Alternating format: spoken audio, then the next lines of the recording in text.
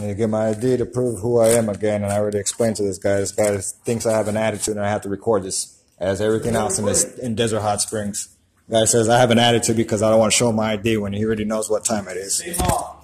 I understand, sir, but I already I, I explained to you off camera that I was coming And I to pick. check you in. I understand. I said I was just gonna get my debit card and get up out of here, and the guy served me wrong, so that's why we're you know recording.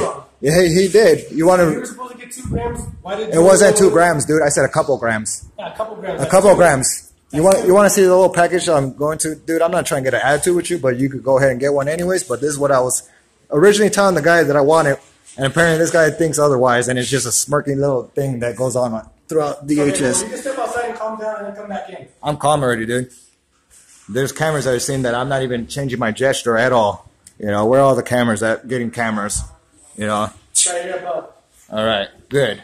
See, I'm not even, my gesture never changed. My eyes are completely, you know, as is. I'm sober and uh, I don't, I don't appreciate this attitude, you know.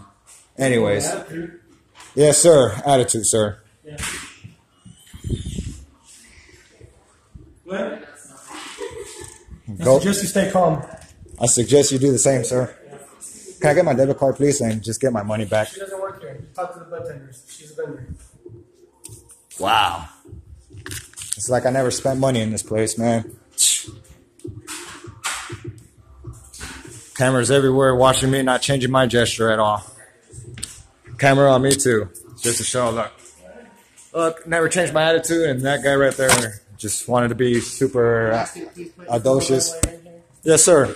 All of a sudden, so I can't, you know, film everything that's happening here, and I'll probably be asked never to come back, but it's fine.